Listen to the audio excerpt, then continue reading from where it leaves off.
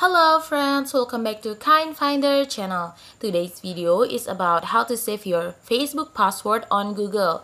If you want to know how to save your Facebook password on Google, please stay tuned and check this out.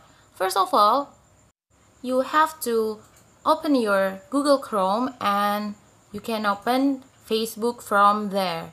After that, you will fill the email address and also the password.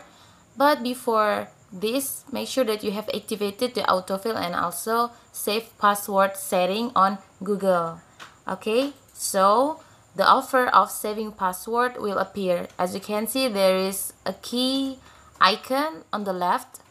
Once you have finished the login the save password offer will appear. So you have to choose save. It means your Facebook password has been saved by Google so next time you want to log in into your Facebook, you don't need to worry because uh, your Google will autofill your password. Okay, now I'm going to tell you how to see or check your saved password on Google. First, open your Google Chrome and tap on the logo on the right corner. And then you can choose manage your Google account. After that, you have to choose security.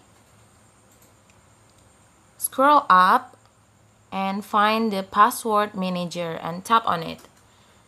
Okay there are only two safe password instagram and another one. So where is the facebook?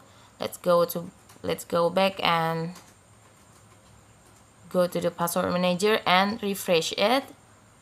Okay we can see the facebook logo has appeared tap on it and you have to verify your identity first.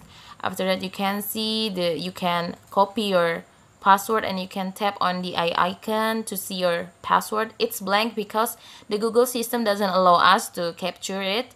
So it's totally safe for us. So it was the first way to check your saved password on google. Okay the second way to check your saved Facebook password is by tapping the setting of the Chrome and then you can choose password. After that, you can see there are safe passwords. You can choose Facebook.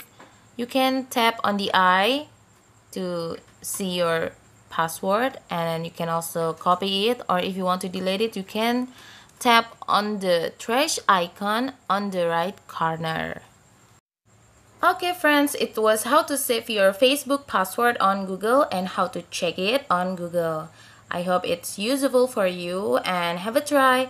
Don't forget to subscribe KindFinder channel and turn on the notification.